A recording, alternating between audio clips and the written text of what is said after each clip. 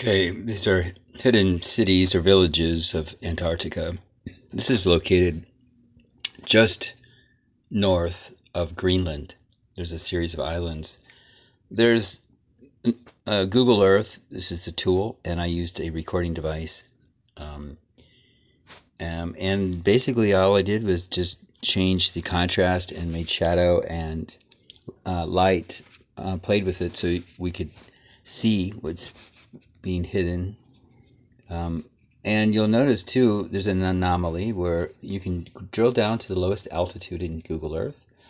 But if you keep drilling down, even though you're stuck, it can sometimes breaks through to a different dimensional area. You can see sometimes inside the cage or inside uh, the, the buildings. It's very strange. So I think this is what happened, and that's why I was able to see what I can see.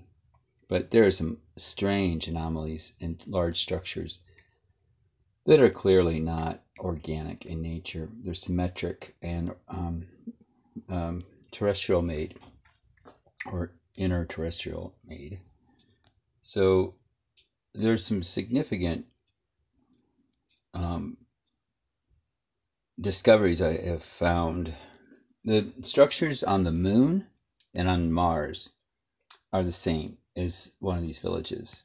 They are more of the Devons, not demons, but daemons, which are the elemental beasts, crystal worlds, the, the angelic, demonic world.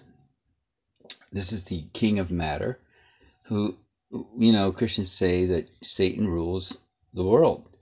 Well, the world is material. The physical three dimensional plane of existence we're on currently is ruled by the chief archon, which are the devil, um, and he's also in charge of nature, which is um, so he has a task to do. He was summoned by um, God in order to collect negative energy and, and, and take it out of the.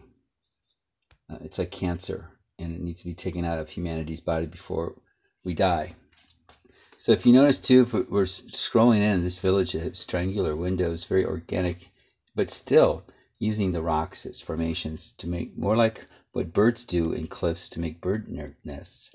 There's also a tree of life that's just extraordinary, and it looks like it's inside a dome. Um, right here, if you see where the bottom is, it looks like there's a white dome, and there's the tree of life.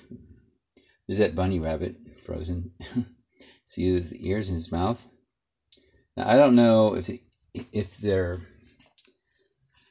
you know indoors and we're looking through the window or it's they're under ice or what it is. But for me not to continually see these same faces I see over and over and over, it's impossible um, not to see the same characters as I see time and time again.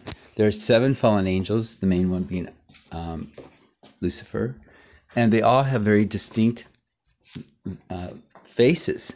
And you'll see that face manifest in many things, um, including chemtrails, and then these beings that we see um, around, you know, Moon and Mars, and soon to be Earth. We are going into the fourth D.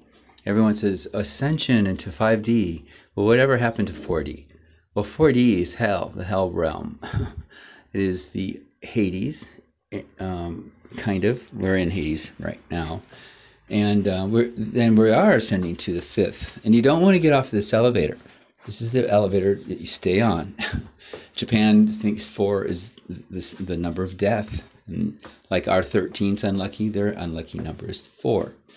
And the old filament earth of the Gnostic Library of Christ, Jesus Christ, um, talks a lot about the the um, filament Earth and how the chief archon, Baphomet, um, um, rules from this dimension in the second heaven, which is four dimensional reality. The 4D is when you can look and see beings just hanging out on the surface of Mars, or beings that look just like spaceships, and you're confused to know if they're a spaceship or